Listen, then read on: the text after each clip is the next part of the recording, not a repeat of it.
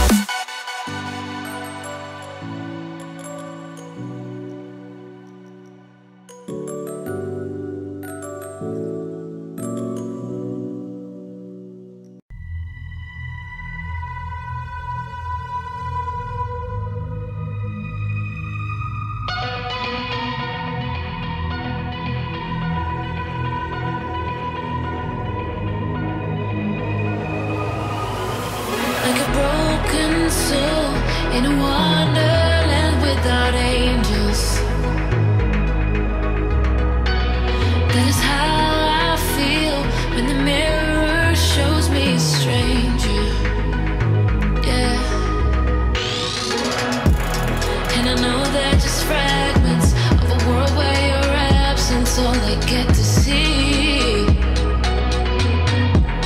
Take me back to the planet, the planet where you and I are still meant to be. Cause I'm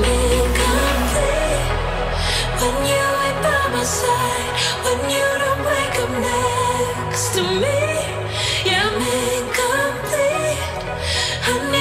Let me attempt this. This is the only way I can put my hair in a bun, you guys. All the blood rushes to my head and I'm like, oh my god, I need a break. I need a break. Ooh, y'all, this is gonna be a real messy bun.